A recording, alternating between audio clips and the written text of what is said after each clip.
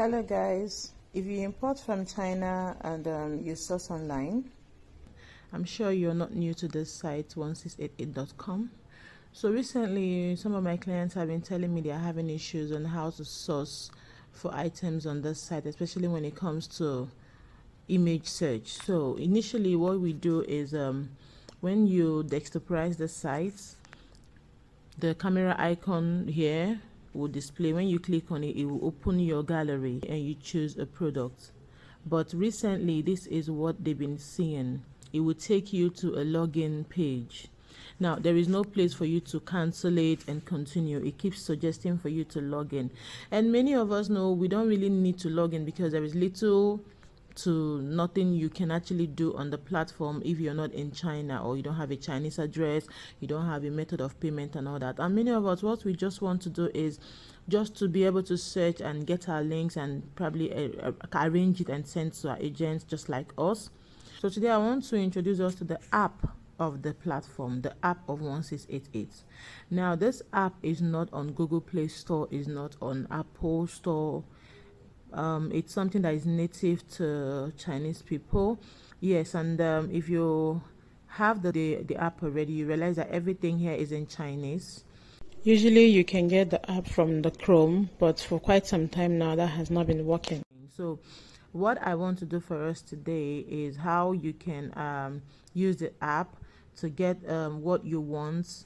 The app already has the image here so when you click on the image and then the same thing you do with your chrome okay so let's say we want to look for this. It will still search for it the way you are used to on chrome okay?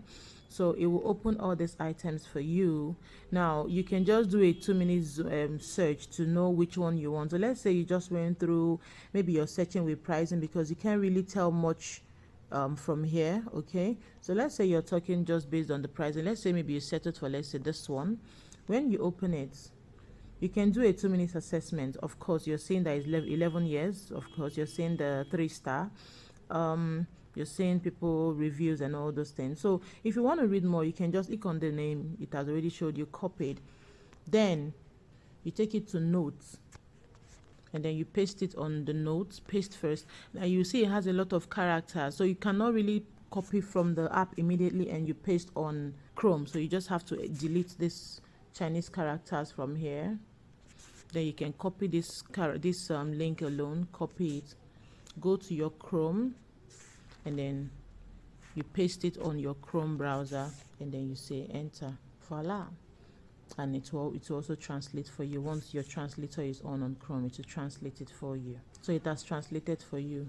Now you can read everything you want to read about it read everything that there is to read see pictures and everything okay? If you're satisfied by it then you add it to the list of the links and others you're compiling. Here you can see everything now just like that. So basically what i'm saying is since the chrome is not letting you do your image search effectively without the redirecting you to sign up page and login page which you necess you don't really need you can use the app to do your search just like this you can do the app to do your search image search whatever search you want to do. Let's say image particularly because if you want to use letters or category search you can just do that on chrome.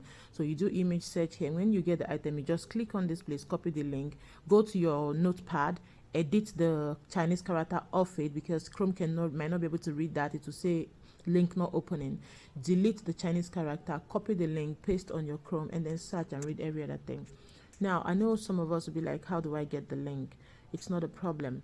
If you don't have the link, just um, reply to this video cause, um, or send us a DM or chat me on WhatsApp and I'll just send you the raw file of the of the app and then you can download it from there okay all right thank you very much and um, of course i'm sure you're going to make us your procurement agency plug